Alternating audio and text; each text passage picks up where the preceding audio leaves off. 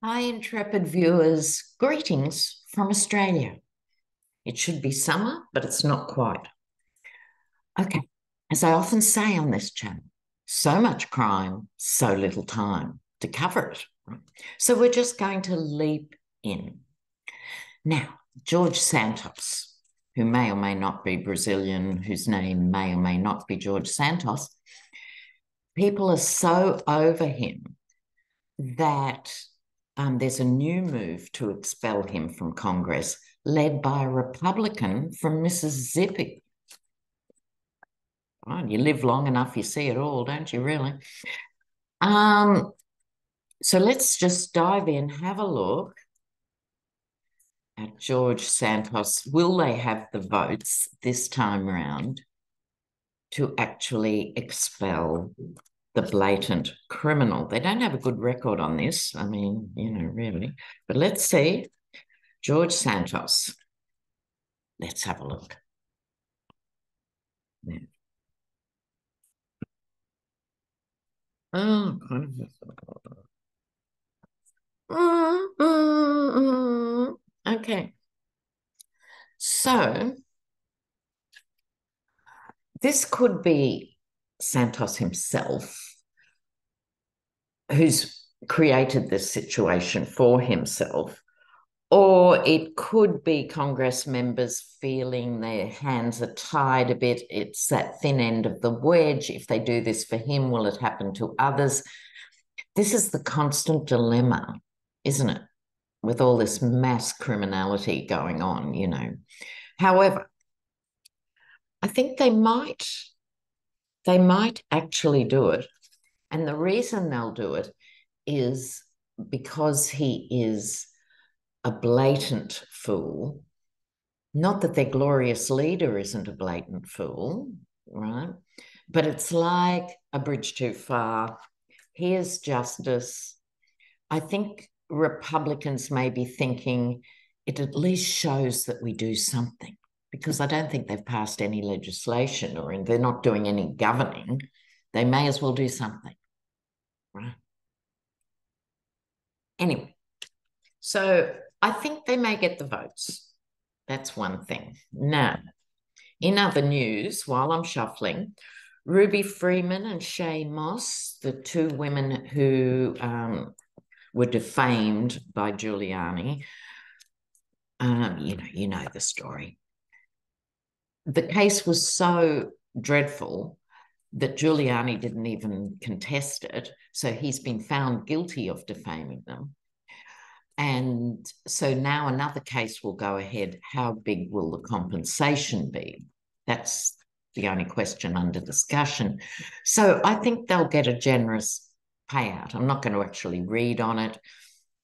They deserve it, you know, going forward. Okay. Now, Hunter Biden.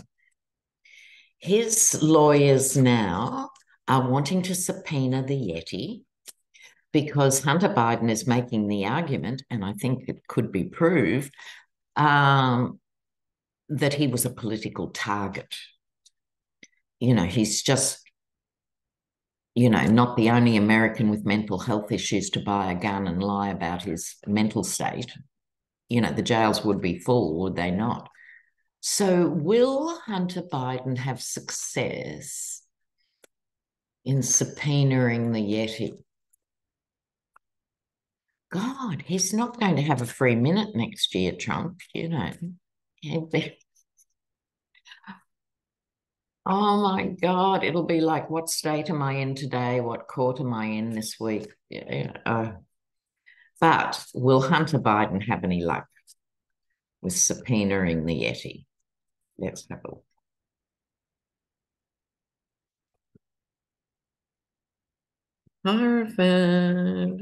Oh. Hangman reversed. Oh, that's interesting. Okay. Now, the Hierophant is the big bossy card of the major arcana okay, the pillars of convention and the court system and all of that stuff. turns up first. Walking away, I'm not mad about this card, which would indicate to me maybe not the Yeti, but he might get someone else fairly high up to be subpoenaed. Okay. But what he gets here, and he does get three major arcana out of four cards. The hanged man, which is things being held up, reversed, maybe there'll be a bit of movement on this issue. And the strength card, I'm happy to see that. So if I put these two as bookends, I think Trump will get away with it. But with the strength card here, I think someone else will be nominated fairly high up. Okay. Now, you know the guy whose surname is Floyd? Um, he represented Black Voices for Trump. How much was he paid? Really? Now, he was out on parole. He broke his parole conditions by defaming dozens of people and talking crapola and doing all those things. Fani Willis now wants to revoke his bail. So, and send him to jail. Now, I was listening last night to Legal AF. I'm sure most of you know the channel. It's part of the Meidas touch. and a woman lawyer was saying this case that I just described, he broke his conditions, he will now go to jail. It's evidence that there is a two tiered system of justice, in case you needed a reminding, in the US, because Trump has done that and worse and is still strolling around she makes a good point, right? In other news, Mar a Lago, um, Palm Beach Town Council or something, they're really over the Yeti's events because it causes traffic problems. So they're thinking very seriously of some sort of sanctions on the events he can have because he thinks of it as his private palace, but it is technically, legally, a country club. You know, we'll see what happens there, but I'm not going to go into the fine print.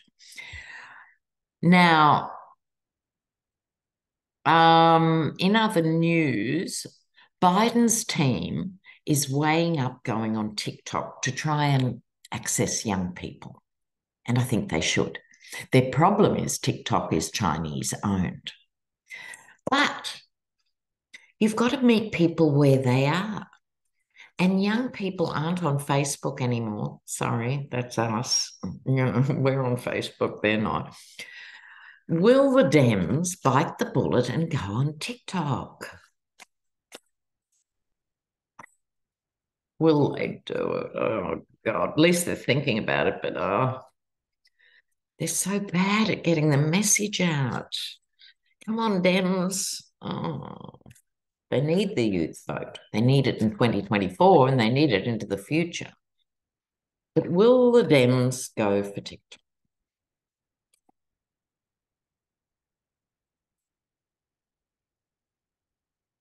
I think this is really important, much more than it sounds. And I'm going to do a bigger spread because I think it is really, really, absolutely imperative to connect with young people emperor.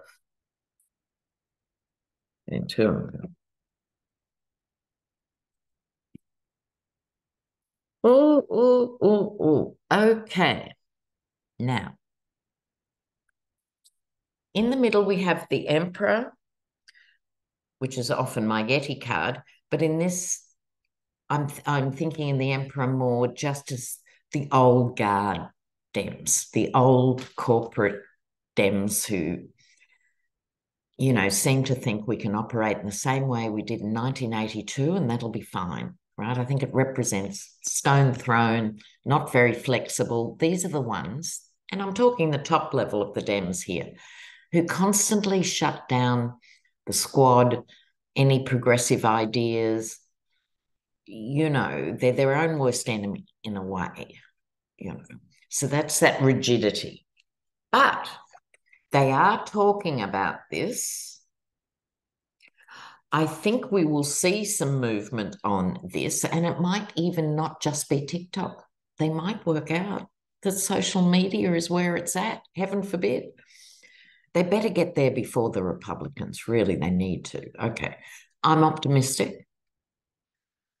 The world, hello, go global, you know, go global. And youth culture is a global phenomenon. So do it, do it, do it. Outcome card, Ace of Pentacles. I think they might do it. This is a new approach, new idea, new energy, new way of conveying your values. Put it out there. It's cheap in terms of pentacles. It costs like nothing. Okay, I think they're going to do it. Ah, dare to hope, dare to dream. Why wouldn't they? Oh, just stupid beyond belief. Now I'm working up to the big topic. With the leaked videos of Jenna Ellis and Sidney Powell, ooh, wow, fabulous. And it was a defense lawyer who admitted it. Good on him, too, for standing up, saying, I don't want other people to be regarded suspiciously. I did it. Good on him. Um, but this is a game changer. So let's see here. But before we get to that, there's a very big story attached to that, but I digress.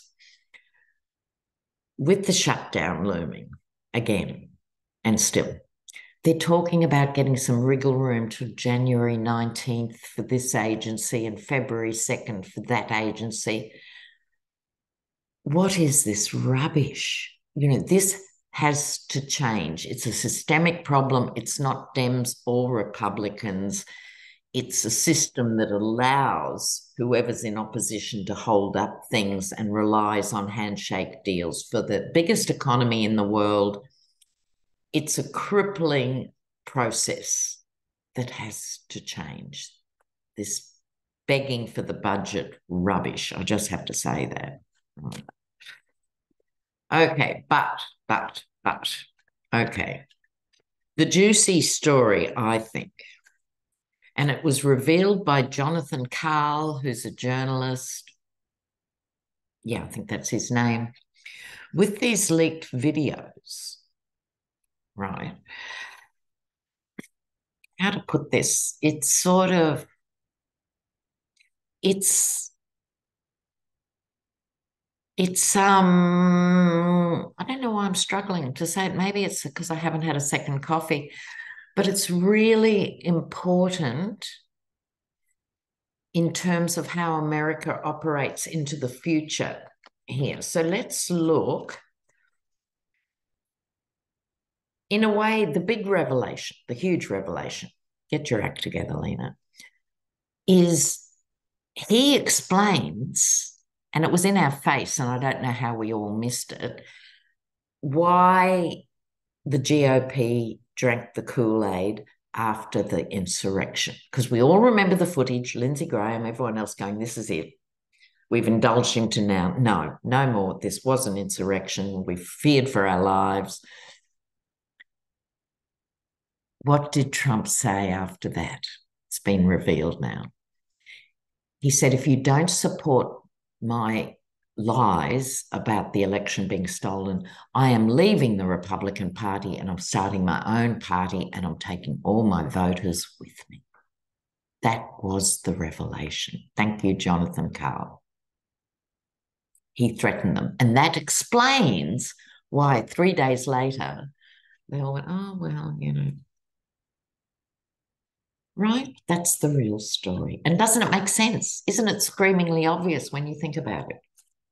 You know? Okay, so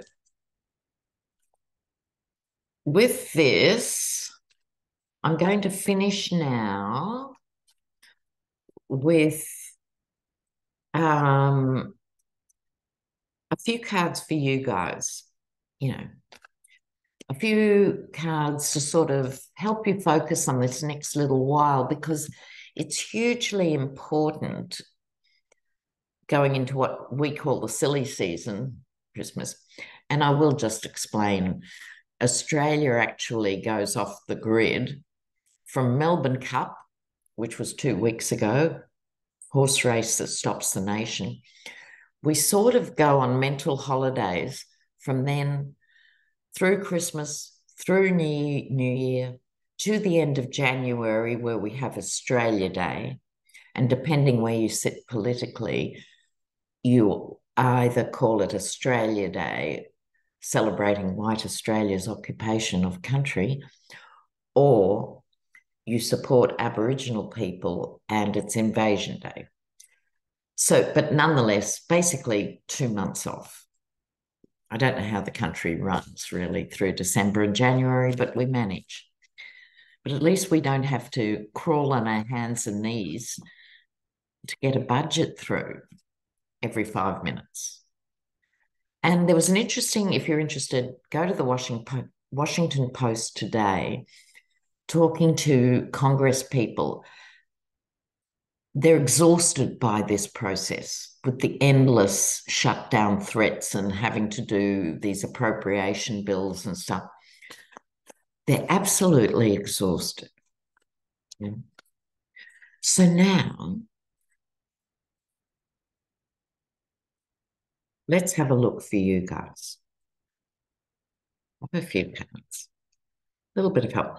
Don't forget to Saturday Night Live, 7 p.m. New York time EST, Hogarth, Lady G, and me.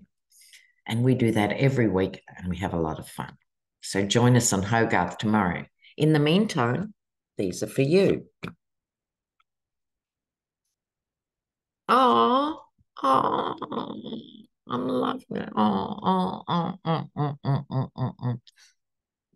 All right. Five of Pentacles. This is you guys feeling exhausted, drained, betrayed, unheard. You know, this is the bleakest, you know, in your quiet downtime, how you feel. This is a reminder to look at the light in the window, right? These people are walking past the light. Talk to people. The Page of Wands is a good talker.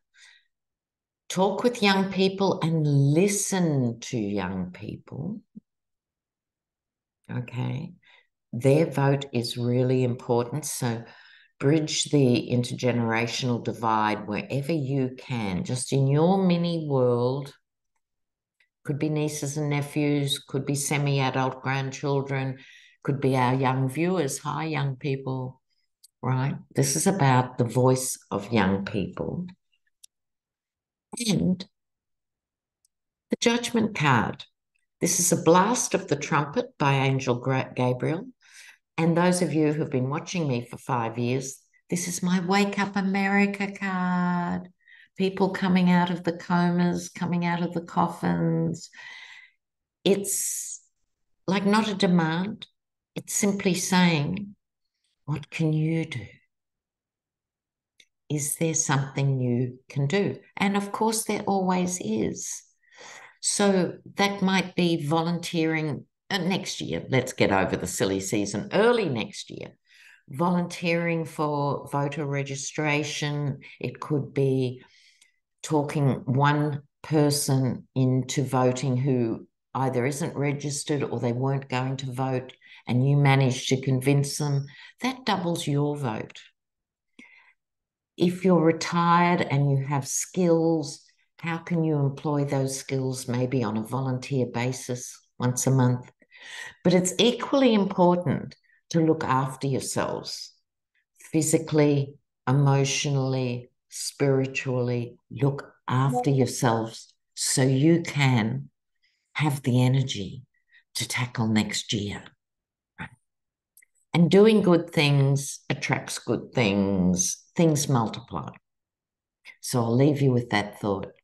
You guys take care, and I'll see you next time.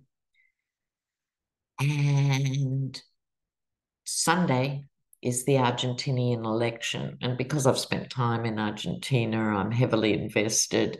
Will the maniac Trump look-alike get in or not? Oh, por favor, no. Ciao. Bye now.